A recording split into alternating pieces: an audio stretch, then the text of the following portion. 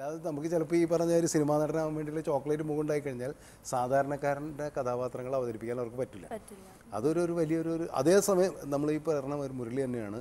ചിലപ്പോൾ ഒരു ചീഫ് മിനിസ്റ്ററൊക്കെ ആയിട്ട് വരും അല്ലെങ്കിൽ വലിയൊരു ഐ എ എസ് ഓഫീസറൊക്കെ ആയിട്ട് വരുമ്പോൾ സൂട്ടും കോട്ടൊക്കെ ഇട്ട് വന്നാൽ നമുക്ക് മുരളി അങ്ങനെ കാണാൻ കഴിയുന്നുണ്ട് അത് രൂപത്തിന്റെ സൗന്ദര്യം കൊണ്ടല്ല പെർഫോമൻസിന്റെ ആ പരുക്കൻ ഭാവം കൊണ്ട് തന്നെയാണ്. ചെറിയ വേഷമാണെങ്കിൽ പോലും എന്റെ കഥാപാത്രത്തിന്റെ പ്രസൻസ് ആ സിനിമയിൽ എന്താ പറയുക ഒരു മുദ്രയായിട്ട് മാറുക എന്ന് പറയുന്നത് വലിയൊരു കഴിവാണ്. ആ കാര്യത്തിൽ മുരളി അഭിനയിച്ചിട്ടുള്ള സിനിമകളുടെ ലിസ്റ്റ് പരിശോധിച്ചാൽ നമുക്ക് മനസ്സിലാക്കാൻ കഴിയും. തൊണ്ണൂറോളം അല്ല തൊണ്ണൂറ് ശതമാനം സിനിമകളും അങ്ങനെ തന്നെ ആയിരിക്കും നായകനായതുകൊണ്ടല്ല ഈ സിനിമകളൊക്കെ ശ്രദ്ധിക്കപ്പെട്ടിട്ടുണ്ട് മുരളിയുടെ വേഷങ്ങൾ.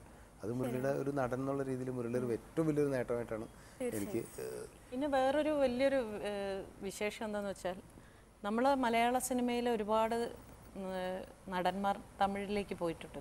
തിലകൻ ചേട്ടൻ മോഹൻലാൽ മമ്മൂട്ടി. മുരളി എല്ലാവരും പോയിട്ടുണ്ട് ഇവരെ മറ്റുള്ളവരെല്ലാം അവർ ഭാഷ പഠിച്ചാണ് അഭിനയിച്ചത്. തിലാഞ്ചേട്ടൻ സ്വന്തം ഭാഷ തന്നെ മറ്റു ആരും തിലാഞ്ചേട്ടന് വേണ്ടി തമിഴിൽ ഡബ് ചെയ്തിട്ടില്ല. മോഹൻലാലിന് വേണ്ടിയും ആരും ഡബ് ചെയ്തിട്ടില്ല. മമ്മൂട്ടിക്ക് വേണ്ടിയും ഡബ് ചെയ്തിട്ടില്ല. മുരളിയേട്ടന് വാസ്തവത്തിൽ ഈ പറയുന്ന ഒരു ഭാഷയുടെ ഒരു പ്രശ്നം തമിഴിൽ അഭിനയിക്കുമ്പോൾ ഉണ്ടായിരുന്നു.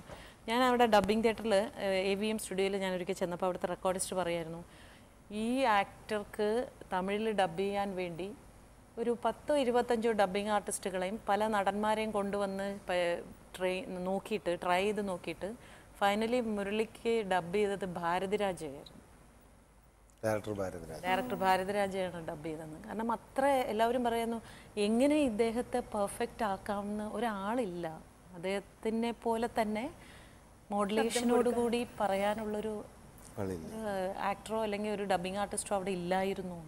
മുരളി സാറിനെ പോലെ ഒരു ക്യാരക്ടർ റോൾസ് ചെയ്യുന്ന ഒരു നടന് നാഷണൽ അവാർഡ് കിട്ടുക എന്ന് പറയുന്നത് കുറച്ച് റെയറാണ് കാരണം വെച്ചാൽ കൂടുതലും ഹീറോ റോൾസ് ചെയ്യുന്നവർക്ക് നാഷണൽ അവാർഡ് എന്നൊരു ഒരു ഇതുണ്ടല്ലോ. പക്ഷേ ഇദ്ദേഹത്തിന് കിട്ടിയതാണ് നെയ്ത്തുകാരൻ എന്ന ചിത്രത്തിന് വേണ്ടി രണ്ടായിരത്തി രണ്ടിൽ ബെസ്റ്റ് ആക്ടർ നാഷണൽ അവാർഡ് കിട്ടിയ ഒരു സിനിമയായിരുന്നു. ഇതിലെ ക്യാരക്ടറിനെ കുറിച്ച് നാഷണൽ അവാർഡിന് അർഹനാക്കിയ ഒരു ക്യാരക്ടറാണ് അതും ഈ മുരളിയെ സംബന്ധിച്ചിടത്തോളം ഒരു അദ്ദേഹത്തിന്റെ പ്രായത്തിനും വളരെ വളരെ വലിയ വൃദ്ധനായിട്ടുള്ള ഒരു കഥാപാത്രമാണ് നെയ്ത്തുകാരൻ. അപ്പമേസ്ത്രി അപ്പമേസ്ത്രി എന്ന് പറയുന്ന കഥാപാത്രം.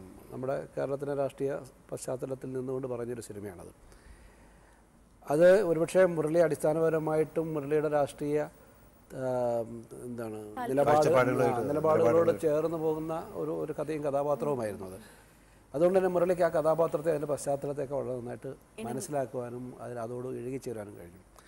തീർച്ചയായിട്ടും മുരളിയെ സംബന്ധിച്ചിടത്തോളം അർഹതപ്പെട്ട ഒരു അംഗീകാരം ഒരുപക്ഷെ ഇതിനു മുമ്പ് ലഭിക്കേണ്ടിരുന്ന അംഗീകാരം കുറച്ച് അംഗീകാരം കുറച്ച് അതെ. അതിന് അത് കിട്ടിയത് കുറച്ച് താമസിച്ച് ആണെന്ന് മാത്രമേ ഉള്ളൂ. ഇപ്പം എന്റെ തന്നെ കാണാക്കിനാവിലെ. കാണാക്കിനാവിലെ. അഭിനയത്തിന് മുരളിയെ ദേശീയ അംഗീകാരത്തിന്റെ അടുത്ത് വരെ എത്തി പിന്തള്ളപ്പെട്ടു പോയതാണ് അന്ന്. സംസ്ഥാന അവാർഡ് ലഭിച്ചു. പിന്നെ ദേശീയ അവാർഡിന്റെ അവസാന പരിഗണന വരെ ഉണ്ടായിരുന്നു. സാറിന്റെ തന്നെ ഫിലിം ആയിരുന്നില്ലേ ആകാശദൂത് അതിൽ ലീഡ് റോൾ തന്നെയാണ് അല്ലെ? വേറൊരു നായക കഥാപാത്രം ഇല്ലല്ലോ ഇല്ല അതിൽ ഇത്രയും വെള്ളമടിയൊക്കെ ഉണ്ടെങ്കിലും ഭാര്യയെ സ്നേഹിക്കുന്ന ഫാമിലിയെ സ്നേഹിക്കുന്ന ഒരാൾ അതിൽ ആ ലീഡ് റോളിലേക്ക് മുരളി സാറിനെ കാസ്റ്റ് ചെയ്തത് എങ്ങനെയാണ്?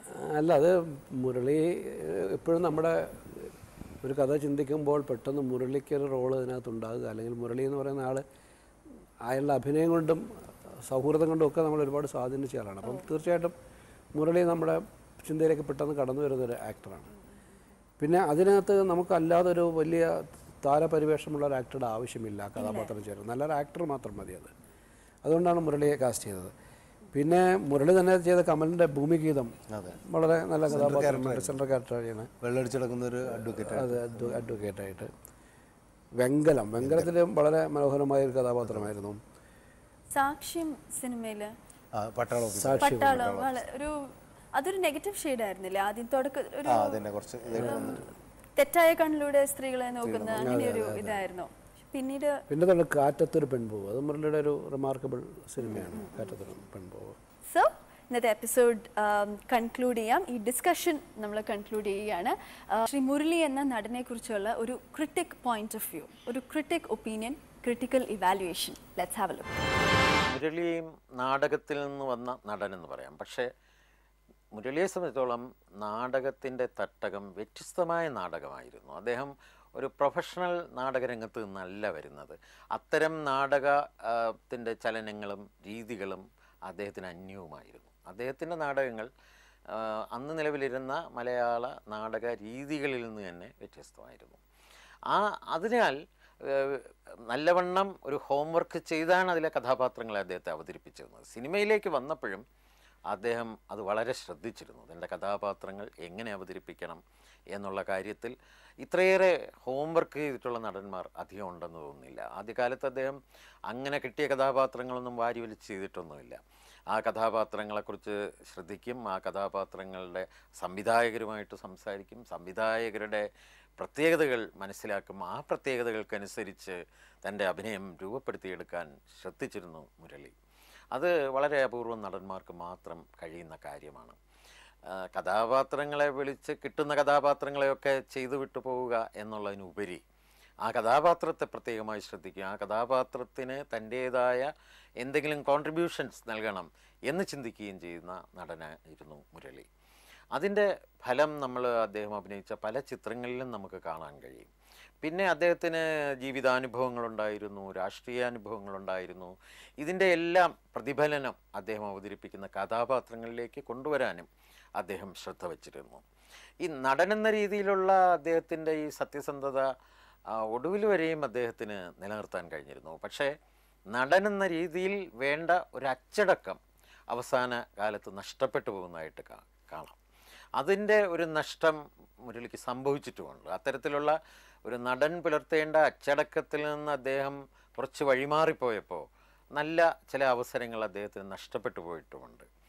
അങ്ങനെ ജീവിതത്തിലൊരു നല്ല പങ്ക് അദ്ദേഹം പുലർത്തിപ്പോകുന്ന സ്വയം മെച്ചപ്പെടുത്താനുള്ള ഒരു ചിന്താഗതിയും ആ നല്ല കഥാപാത്രങ്ങളോടുള്ള ആവേശവും കുറേയൊക്കെ ഒടുവിലത്തെ ഒടുവിൽ അദ്ദേഹത്തിന്റെ അഭിനയ ജീവിതത്തിന്റെ അവസാന കാലഘട്ടത്തിൽ കൈമോശം വന്നു പോയതായിട്ട് നമുക്ക് തോന്നാം. അതല്ലായിരുന്നുവെങ്കിൽ മുരളി അഭിനയിച്ച് വളരെ ബഹുമതികൾ നേടിയ വളരെയേറെ ശ്രദ്ധിക്കപ്പെട്ട കഥാപാത്രങ്ങളെക്കാൾ മികച്ച കഥാപാത്രങ്ങൾ ചെയ്യാനുള്ള കഴിവ് അദ്ദേഹത്തിന് തീർച്ചയായും ഉണ്ടായിരുന്നു.